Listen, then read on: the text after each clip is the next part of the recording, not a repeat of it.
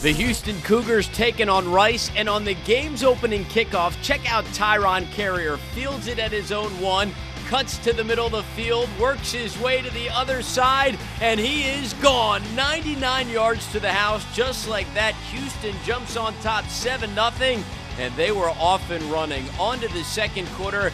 And how about Case Keenum? A bit of a quiet night, only threw for two touchdowns, but added 323 yards through the air, hooking up here with Patrick Edwards. That makes it 38 zip Cougars.